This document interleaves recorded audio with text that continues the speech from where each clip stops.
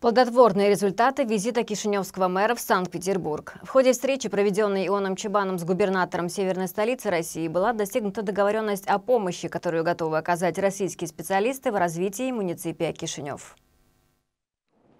Так, благодаря достигнутым договоренностям, уже в феврале в Кишинев прибудет группа специалистов из Санкт-Петербурга, которая окажет поддержку и необходимую экспертизу в разработке генерального градостроительного плана муниципия. В данной связи он Чубан подчеркнул, что благодаря отлаженным на самом высоком уровне двусторонним молдавско-российским связям развивается и углубляется сотрудничество и на региональном уровне на благо народов двух государств.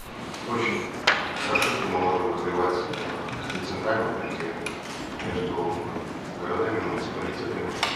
регионами наше сотрудничество.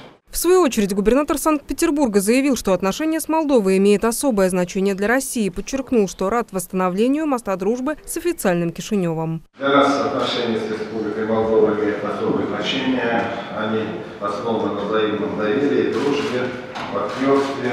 У нас были налажены связи с Гагаузией. Сегодня, многом благодаря вашей поддержке, мы с вами закладываем мост дружбы с Кишиневым. Для этого у нас есть все возможности и необходимые ресурсы.